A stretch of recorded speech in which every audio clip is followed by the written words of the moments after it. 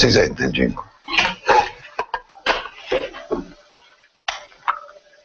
Eccoci qua, siamo qui con Nichi Vendola, leader di Sinistra Ecologia e Libertà, nonché governatore della Puglia, che come sapete tutti è candidato eh, in Parlamento alle prossime elezioni ha un patto con eh, un'alleanza politico-elettorale con il PD di Luigi Bersani, eh, che i sondaggi danno in testa questa alleanza e, e che quindi diciamo, dovrebbe essere la vincitrice delle prossime elezioni. Dovrebbe perché nelle ultime settimane questi sondaggi un po' scendono mentre quelli che riguardano il PDL di Berlusconi salgano, ci sono ancora tra i 4 e i 7 punti di differenza, però insomma cioè, la forbice un pochino si stringe. Ora però per stare alla strettissima attualità politica e ieri il leader di, del PD, nonché candidato premier del centro-sinistra per Luigi Bersani, ha fatto un'ennesima, perché non è la prima, però è forse la più forte apertura nei confronti di, di Mario Monti e della sua nuova formazione politica,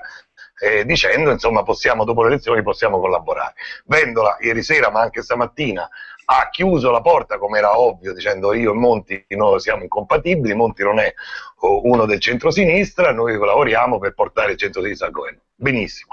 Dopodiché però io non ho capito perché eh, tu e Bersani, lei e Bersani non vi parlate perché evidentemente ognuno va un po' per conto suo, cioè Bersani continua a fare apertura a Monti sapendo benissimo che Vendola non vuole aprire a Monti, come si fa? Cioè non date un messaggio di confusione agli elettori, a me pare. Ma io credo che se riusciamo a fotografare il fatto che ci sono due terreni su cui bisogna far camminare la prossima legislatura. Il terreno proprio del governo e quindi di un'agenda programmatica in grado di affrontare di petto il dramma di un'Italia in declino, di affrontare con coraggio quella svolta di politica economica e sociale che possa rimettere al centro il lavoro, che possa tornare a delineare la giustizia sociale come un orizzonte da perseguire. Questo è un terreno. Ma poi c'è anche tutta la materia legata alla riforma dell'architettura dei poteri dello Stato. Noi siamo stati immersi per anni nella discussione sul federalismo, a partire anche dalla riforma del titolo quinto della Costituzione. A che punto siamo? Dove è finito tutto questo? Il federalismo è scomparso a un certo punto e è comparsa la voglia addirittura di cancellare il regionalismo. Che dobbiamo fare? Come riprendiamo di petto questa questione? Eh, si è fatta questa abortita riforma delle province, ma come si riarticolano i poteri territoriali, la legge elettorale, posso continuare a lungo, su questo no, terreno... No. È inevitabile, su questo terreno, no, nell'evocazione dei, diciamo, degli oggetti che rappresentano tanti dossier aperti e non chiusi, su questo terreno è assolutamente eh, auspicabile e io dico necessaria eh, la collaborazione, non solo il confronto, ma la ricerca di punti di compromesso con eh, la lista Monti, con eh, i centristi che sono attorno a lui. Sull'agenda di governo, no, perché rischiamo veramente di uscire fuori dall'Europa. In Europa c'è un polo conservatore e un polo progressista che si contendono nelle campagne elettorali eh, la vittoria per poter dare il segno a una stagione. Noi abbiamo avuto un quindicennio grosso modo dominato, persino negli anni in cui governava il centro-sinistra, dall'egemonia culturale della destra, del berlusconismo. Io penso che il centro-sinistra abbia diritto a una vittoria piena e credo che abbia il dovere di governare senza ipoteche che provengono da quello che io definisco il partito delle elite. Benissimo. Dopodiché, visti anche gli ultimi sondaggi, che non sono chiaramente il responso delle urne, però su quello ci, possiamo, ci dobbiamo basare, nel caso al momento probabile che il centrosinistra non, ha, non avesse la maggioranza in Senato, quindi non avesse i numeri per governare, per creare un governo da solo, che cosa, e da qui secondo me parte diciamo, l'apertura di Bersani a Monti, l'ennesima apertura, perché evidentemente è molto preoccupato di non riuscire ad avere... Che cosa, che cosa farebbe Vendola e la sua sella? Serietà vuole che la coalizione che diciamo, esce eh, con più voti, con più numeri dalla, dalle urne, si presenta di fronte alle Camere e dice questo è il programma necessario per dare respiro, ossigeno all'Italia. E si verifica in un Parlamento eh, di cui oggi noi non sappiamo nulla. È, come posso dire, un'incognita assoluta quali saranno le forze del Parlamento. Non è possibile immaginare che eh, i programmi siano eh, carta provvisoria per, eh, soltanto per i grulli elettori. I programmi sono il confronto di idee, di modelli di società, sono necessari. Io credo che abbiamo il dovere di, rispe- di rispettare i nostri elettori. Del resto, Bersani aggiunge che sul mercato del lavoro e sui diritti civili ci sono distanze siderali con Monti, allora, voglio capire se sulle due questioni fondamentali su cui ci giocheremo la prossima legislatura, cioè com'è giusto che sia, com'è normale che sia, perché Monti è un classico conservatore europeo, eh, se c'è una distanza così forte, ma come si può pensare di governare insieme? Eh, ma non gliel'ha chiesto Bersani, non glielo chiede, no? Perché lui fa queste aperture senza... non vi consultate mai su come eh, andare avanti la campagna elettorale? Perché è un po' strano, no? Ma, sai, e lui io... dice una cosa e lei dice il contrario, eppure siete alleati. Io se fossi stato nei panni di Bersani, lo dico eh, veramente, mi permetto questa confidenza solo perché ho molto affetto e molta stima nei suoi confronti mi sarei dimesso da segretario del Partito Democratico per rimarcare il fatto che lui è il capo di una coalizione, è il candidato premier e quindi è di più che non capo di un partito. E lui dovrebbe, diciamo, eh, catalizzare l'attenzione su questo fatto che è il prodotto di un fenomeno democratico chiamato primari, di 3 milioni di elettori che hanno fondato un nuovo centro-sinistra che hanno dato a Bersani, diciamo così, la leadership, ecco, io penso che Bersani non ha il potere eh, di mutilare il centro-sinistra di questa sua genesi, le primarie, il programma Italia Bene Comune, l'alleanza con me e con Sinistra Ecologia e Libertà. Siamo parte integrante del medesimo eh, soggetto, appunto, il soggetto che oggi dovrebbe occuparsi più che eh, delle ambizioni del professor Monti, delle ambizioni di un'intera generazione che è esclusa dalla prospettiva di lavoro e dalla prospettiva di futuro, più che del professor Monti, dei danni che il professor Monti ha inflitto all'Italia. E nel primo Consiglio dei Ministri, per esempio, avremo immediatamente da affrontare il tema degli esodati, che la mandano a dire su quanta sciatteria tecnica vi è stata anche nel governo dei tecnici. Quindi mi pare di capire che lei proprio Monti come ministro del suo governo non lo vorrebbe, no? anche perché lui ha detto ma mi piacerebbe fare il ministro di un governo riformista, invece no. Ma è... il problema è che che cos'è il riformismo? Monti pensa che il riformismo sia eh, cancellare lo statuto dei diritti dei lavoratori. Io penso che lo Statuto dei diritti dei lavoratori è stato il capolavoro del riformismo italiano, quindi abbiamo visioni proprio... Allora passiamo a sentire un po' le domande che ci arrivano qui dal web. Elisabetta Nicolosi, lei si voleva attaccare, mm, eh, proprio voleva stare sulla politica stretta se non sbaglio, no? Pronto?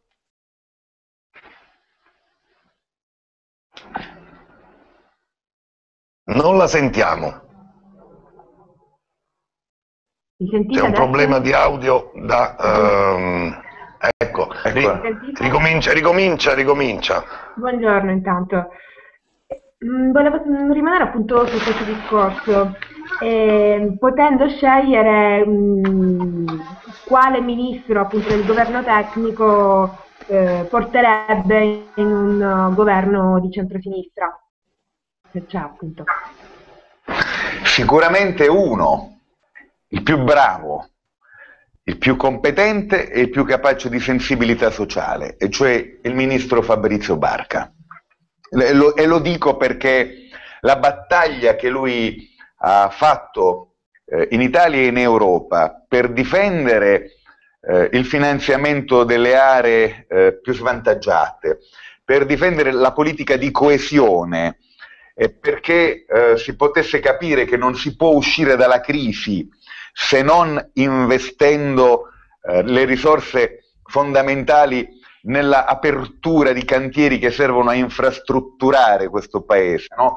Eh, credo che mm, la, l'atteggiamento, persino il garbo, in, un, in una stagione in che è stata segnata dalla supponenza, la modestia di Fabrizio Barca è stata una lezione di stile, anche per questo vorrei che venisse con noi nell'esperienza del prossimo governo. Che ministero le affiderebbe? Gli affiderebbe? Credo, credo che questo è... No. Io no, non, sono, non, sono, abituato a ragionare di questo. Vabbè, insomma, dove lo in, genere, in genere non lo faccio. È un'eccezione che faccio per Fabrizio Barca e penso che lui è talmente bravo che potrebbe eh, gestire qualunque dicastero. Prima di eh, passare a un altro nostro interlocutore virtuale, non so come chiamarlo, una, questa diciamo che tutti chiamano rimonta di Berlusconi, A la preoccupa, B eh, a cosa la, mm, l'attribuisce, come mai? Sembrava un partito morto, un leader morto politicamente parlando, e invece sta lì e combatte, recupera, guadagna consenso. Ma io forse proprio con lei, Barenghi, eh, ho, come posso dire, eh, espresso un parere che si è rivelato un po' profetico. Eh, quando si insediò il governo Monti, io in un'intervista dissi attenti, ora Berlusconi si inabissa e avanza un nuovo ceto di governo che rischia di essere il catalizzatore dei risentimenti e del rancore di un paese ferito in crisi. E poi dissi attenti, questa sarà una stagione penitenziale, ma dopo la Quaresima liberista potrebbe esserci la Pasqua di resurrezione dei populisti e non dimenticate che il populista number one si chiama Silvio Berlusconi, l'uomo che è in grado di parlare come una pancera che aderisce elasticamente all'italietta del basso ventre. Questo ha a che fare col fatto che Berlusconi non è un fenomeno di superficie e non è un problema soltanto diciamo, di ingorgo di vicende processuali, è un problema che ha a che fare con la trasformazione morfologica della società italiana. Il berlusconismo è stato uno tsunami che ha cambiato la nostra società. Oggi possiamo dire, mutuando da uno storico che parlava di altre vicende, che il berlusconismo è l'autobiografia di una nazione. Non si può immaginare che eh, basti convocare l'esorcista per farlo sparire. Quando è uscito da Palazzo Chigi non è uscito dalla pancia del paese, è uscito da un luogo, non è uscito dai centomila luoghi in cui è entrato con il suo vocabolario, con le sue tv, eh, con il suo modo di pensare. Ecco, per questo io credo che il centro-sinistra abbia commesso un errore nella parte iniziale di questa campagna elettorale, ritenendo di poter guadagnare la vittoria per forza d'inerzia. Si trattava di scivolare verso la vittoria, non mettere nel conto appunto il ritorno, a volte ritornano come nei film dell'horror, il ritorno eh, tra i populisti del populista Berlusconi è stato un errore. Cambiamo argomento, intanto qui ne avremo per altre quasi tre settimane. Ehm, l'altro giorno lei Vendola, um, e così passiamo anche la parola a un nostro interlocutore che su questa questione voleva interrogarla, però introduco con questa domanda. L'altro giorno lei ha detto che lei ha paura di girare per Roma la sera perché è una città violenta, una città omofoba. Allora, io volevo sapere se c'è un episodio in particolare che l'ha riguardata, che può raccontarci o, o no, oppure è solo una sensazione generale? Ma ho fatto diciamo, un'intervista con un quotidiano, con un giornalista, eh, raccontando quanto è anacronistico il mio paese, l'Italia, no? Mentre Barack Obama nel discorso di insediamento per il secondo mandato parla di eguaglianza e nomina i soggetti, diciamo, che chiedono, che reclamano eguaglianza di diritti, compresi gli omosessuali, mentre la Francia di François Hollande vara il matrimonio gay ed era un paese che era già dotato di una legislazione di riconoscimento delle coppie eh, di fatto, mentre il conservatore Cameron eh, si batte per il matrimonio gay, in Italia siamo eh, a dover contare le molestie, gli insulti, le violenze, eh, anche gli insulti eh, sulla rete, eh, quando sono di tipo diciamo omofobico, hanno a che fare con una, sono una violenza, rappresentano una violenza. Beh, in una città come Roma, che ha conosciuto uno stillicidio di atti di violenza nei confronti dei gay, eh, è difficile per me immaginare di poter fare una passeggiata in tranquillità da solo, perché sono anche prigioniero della mia immagine pubblica, perché sono un volto noto e, e soprattutto perché rischio di essere un target per gli omofobi che si Però aggirano. Non è mai successo insulti, urla, qualcosa del genere o, o no? Sì, non so. Guardi, mentre Alemanno si è risentito eh, per questo insulto alla capitale, in realtà un, io mi ribello a chi insulta Roma. Roma viene insultata dagli omofobi, viene insultata dai razzisti, viene insultata da chi pratica la violenza. Mentre Alemanno si risentiva, eh, davanti a una scuola importante di Roma compariva una scritta con una firma di un gruppo fascista contro eh, un giovane rappresentante eh, degli studenti eh, negli organi eh, scolastici eh, perché gay, un adolescente. Eh, noi dobbiamo sapere che eh, la paura della discriminazione è una delle principali cause dei suicidi tra gli adolescenti quando scoprono la propria diversità. Allora, io sto dicendo che non è possibile essere prigionieri di questo anacronismo e abbiamo avuto un Parlamento che non è che non ha voluto votare il matrimonio gay, non è che non ha voluto vo- votare il riconoscimento delle unioni civili, non ha votato una legge modesta contro l'omofobia. Questo è il segno di una classe dirigente ipocrita e di una politica pusillanime. Uh, vabbè, eh, c'era Simone Chiarelli che voleva fare due tre, voleva toccare due o tre punti eh, eh, con domande rapide a Vendola. Simone. Sì, buongiorno. Io volevo parlare non tanto di politica, ma di politiche. In particolare le elezioni sono il momento in cui si vedono le differenze più che le analogie fra i partiti e volevo chiederle sul tema volevo... lavoro e politiche di sviluppo, le differenze universali. Welfare e più deboli, le differenze con Ingroia. Ambiente, le differenze con Grillo, e poi sul, sul tema delle politiche locali, Berlusconi, Monti, Maroni, cosa la differenziano? La prima, non abbiamo capito la prima. No, ho capito io. Ah, capito. Lavoro, no, Guardi, eh, prima... bisogna fare una, diciamo, uh, ci vuole una giornata intera per rispondere a questa domanda a, a proposito delle comparazioni e delle differenze.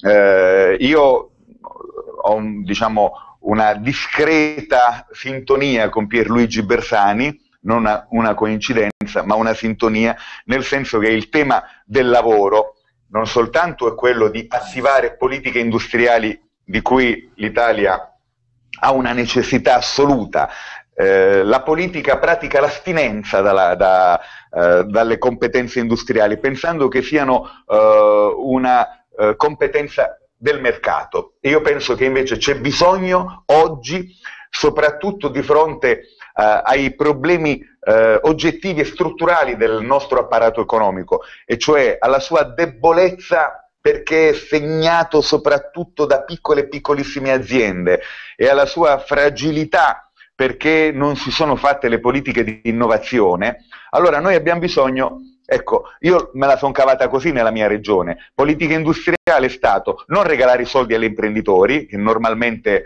compravano il biglietto per delocalizzare, ma finanziare la nascita di distretti produttivi di filiera e finanziare la nascita di distretti tecnologici che diventavano l'infrastrutturazione, diciamo, tecnologica degli apparati produttivi. Eh, sembrano formule eh, vaghe, tradotte in italiano Boeing, se attraversa gli oceani e viene a costruire un pezzo del suo aereo del futuro, del Dreamliner, del 787 in Puglia, è perché noi in questi anni abbiamo lavorato sulla fibra di carbonio, su un nuovo materiale con cui si possono costruire aeroplani che pesano la metà rispetto agli aeroplani costruiti con l'alluminio.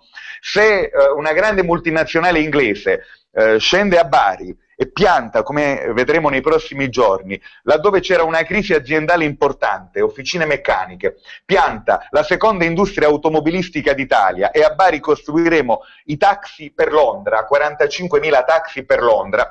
Questo accade anche perché in questi anni noi non soltanto abbiamo reso la nostra macchina burocratica efficiente, i nostri incentivi, come ha segnalato il Sole 24 ore avantieri, eh, i più completi e i più sofisticati, ma anche perché abbiamo investito in pezzi di automobile ecologica, l'iniettore per l'automobile ecologica, il cambio per l'automobile ecologica, quindi siamo un territorio in cui si è fatta politica industriale. Allora, lavoro significa politica industriale, rilancio dell'agroalimentare, economia della creatività, della connessione. Eh, io sono orgoglioso di essere il presidente di una regione che ha la copertura della banda larga per il 99% dei cittadini e ho già investito una cifra rilevante per la banda ultralarga.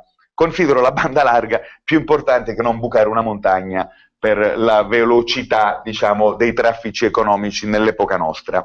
Sul welfare, il punto fondamentale è che la destra, quando dice le destre, quella populista e quella per bene, quella un po' sudamericana e quella europea, quando propongono l'abbattimento delle tasse, alludono sempre al taglio della spesa, della spesa pubblica.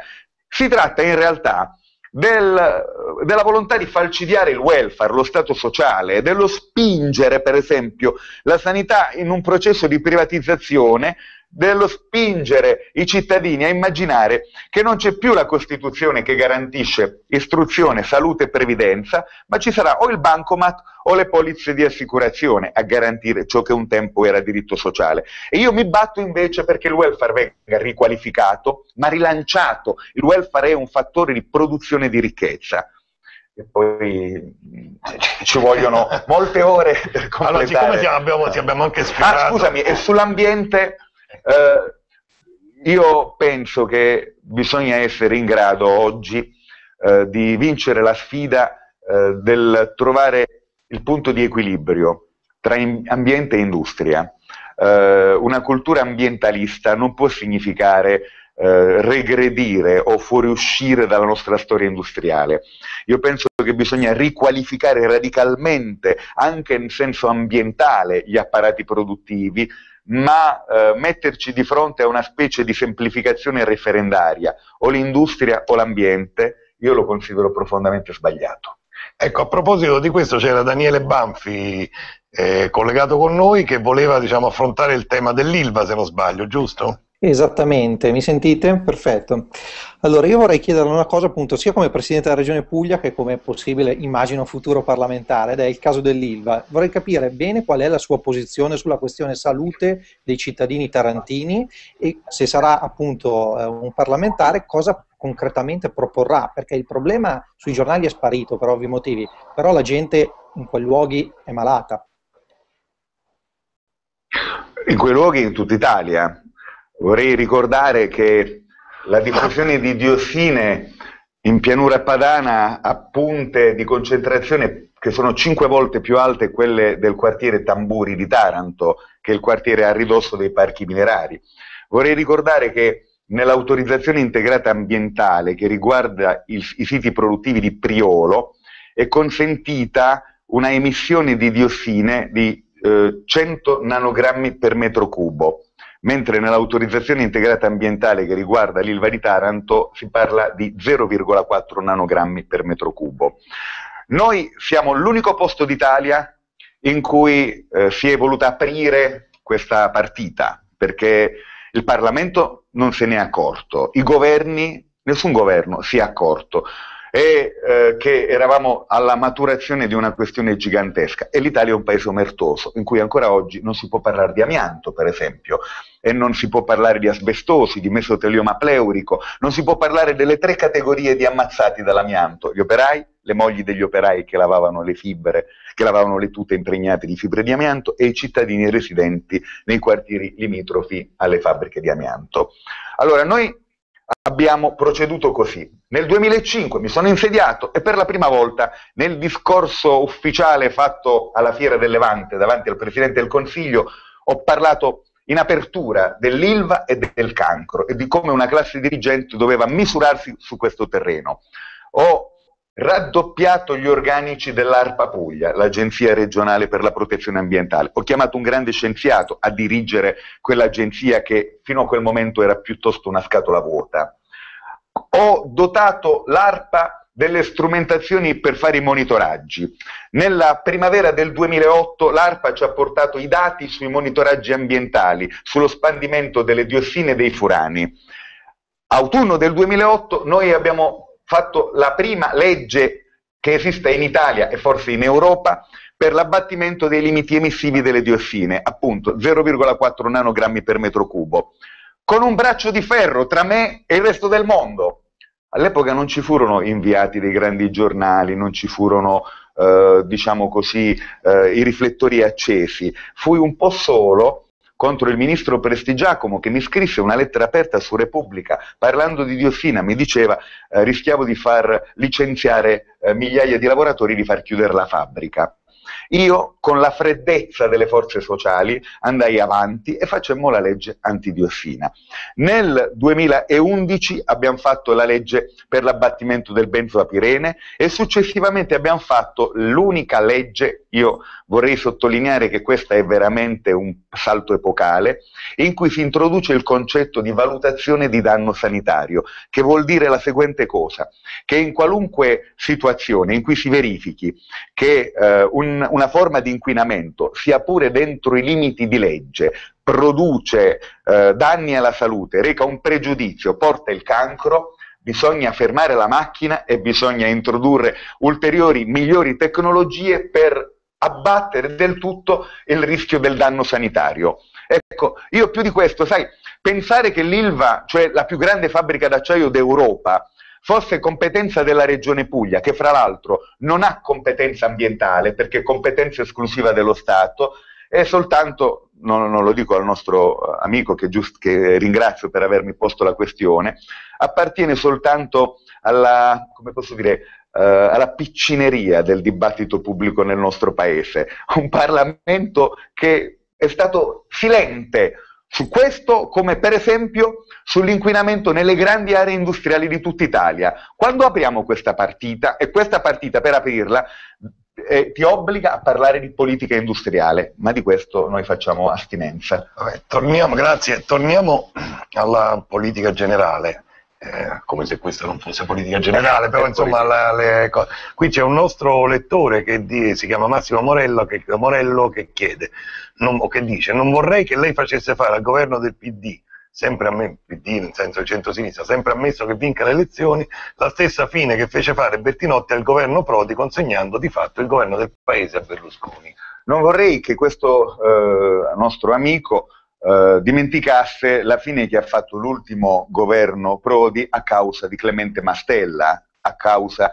di un centrista. Vorrei che ricordassimo tutte le vicende, diciamo, il centro-sinistra secondo me ha barcollato ed è caduto non soltanto per le contraddizioni interne, ha, ha uh, un raggruppamento che era un, un esercito di, di, di, tanti protagonisti. A lui si riferisce al, tanti, al 96-98. Sì.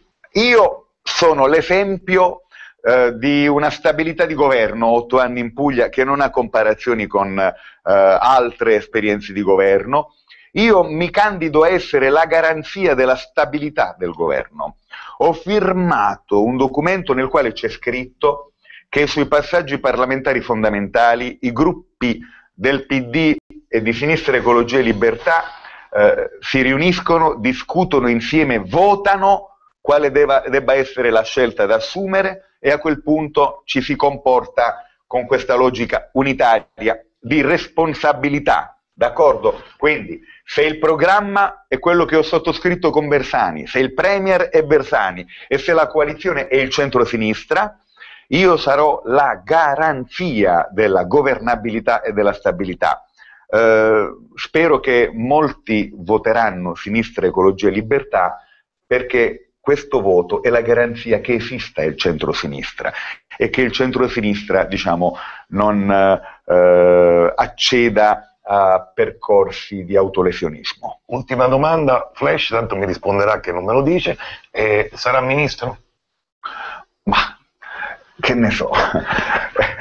Io ripeto. Mi piacerebbe qui, fare il ministro? Mettiamola così. A me piacerebbe molto tornare a essere in, in, in, una squadra chi fa il libero, l'attaccante. Io, Barenghi, da otto anni e mezzo faccio l'allenatore, il capitano, l'arbitro, ho eh, concentrato sia governando una regione grande di 4 milioni di persone, Vabbè, sia come leader, secondi, anzi, sia come leader di partito, mi sono sentito diciamo, sulle spalle tante di quelle responsabilità eh, e ho perso come posso dire, quella allegra spavalderia che c'è in chi gioca all'attacco da libero. Per cui se io potessi scegliere secondo i miei desideri, farei il semplice parlamentare. La discussione avrà, diciamo così, una, sarà una discussione collettiva. Se vinceremo le elezioni, se toccherà a noi, eh, decideremo insieme co- come si può servire al meglio la propria comunità.